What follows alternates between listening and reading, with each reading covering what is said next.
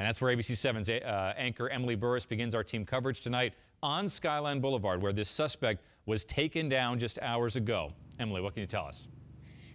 Yeah, Jeff, as you mentioned, we are at that third and final scene here tonight. This is where police put a stop to this gunman's rampage. I want to show you the scene behind me here. It's 11 o'clock at night, four hours after this all came to an end, and still a very active scene here this evening. Now, further down the road, it is still blocked off by police tape, but the gunman's car is still on the road here. It has since been covered with a tarp. Uh, but this is where uh, cars coming at a high rate of speed down this road were met with police this evening morning. Uh, police telling us earlier that the gunman confronted them violently. That's when he was shot and killed by police. Neighbors here witnessing all of it going down, they say it was a terrifying scene.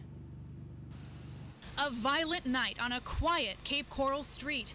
Neighbors watching as a suspected gunman was taken down by police. And I stood up, walked about three, said, hey, what's going on? At the same moment, shooting started, and I jumped back into the garage. Wolfgang Seliger watching from his driveway. Told my wife, she was inside, hey, you're missing the fireworks. At that time, the suspect was still armed and violently resisting officers, and our officers engaged him, killing the suspect at the scene. It was 50, 60 in a couple of seconds was really loud. Police say two other passengers in the car were hurt. Tonight, they're being treated for their injuries at the hospital. Neighbors left in shock as they wait for any answers to a traumatic sequence of events. Well, it's tragic. It's painful. It's shocking because, you know, this kind of stuff doesn't happen here. Now, as police continue to investigate tonight, they say that they will likely be here uh, much later into the evening. They say this is a fluid and ongoing active investigation. They do anticipate uh, conducting search warrants as they work to learn more about the gunman in this case. We have not learned yet the information of the uh, victims involved, names, as the victims' advocates work to notify next of kin uh, and talk to the other victims who were wounded in this sequence of events. Uh, but police did tell us tonight that we can expect uh, much more information uh, coming out tomorrow morning. ABC7 will, of course, be following this and keeping you updated uh, as we learn much more in this case. Tonight, we are live in Cape Coral. Emily Burris, ABC7. And Emily was just. Let's take you back right now to the scene of breaking news tonight in Cape Coral. Here is what we have learned so far tonight. A gunman went on a rampage about dinner time, killing two and hurting others. Right now, police believe he randomly targeted victims Tonight he's dead, killed by police. Officers took that suspect down at Skyline and Cape Coral Parkway. You see the three uh, scenes on your map right there. ABC 7 anchor Emily Burris is there right now. And Emily, a couple questions for you here. First of all, why do police say that they were forced to shoot this suspect?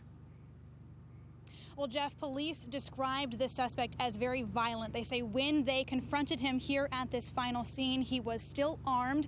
Uh, they wouldn't get into the details of what exactly went down between the shooter and police, only saying that he engaged officers violently, and officers felt that they were forced to shoot and kill this gunman to put a stop to the violence that had occurred this evening that the first shooting happened when this guy fired at a motorcyclist is there any chance that this might have been road rage? Yeah, I was at the press conference earlier where Sergeant Coston with uh, Cape Coral Police said that to uh, talk about a motive at this point would be speculation. They hope to learn more about what exactly led up to all of these shootings as they continue their investigation. Yeah, certainly a question that will be asked tomorrow. Now, in the 21st uh, century era, um, there are cameras everywhere. Were any of these shootings uh, caught on police cameras?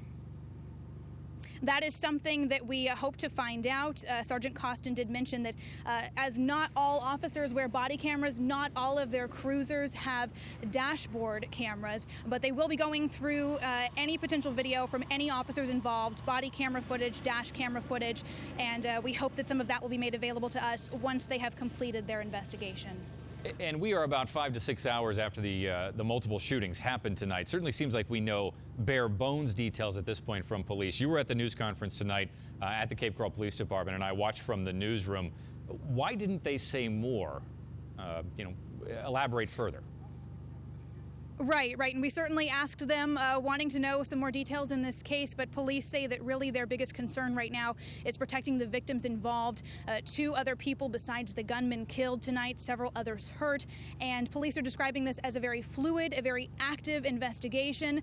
They say that uh, they're still speaking with the people involved. Victims advocates were on scene all evening, and they're, of course, uh, speaking with the families uh, of those who lost their lives. Once they have notified all of the people involved in the case, and they feel that they've properly reached out to next of kin.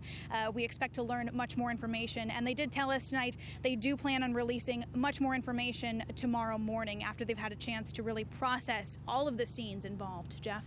All right, Emily Burris reporting live for us tonight. ABC 7 will have continuing coverage of the shootings in Cape Coral, uh, starting with Good Morning Southwest Florida, 5 in the morning tomorrow.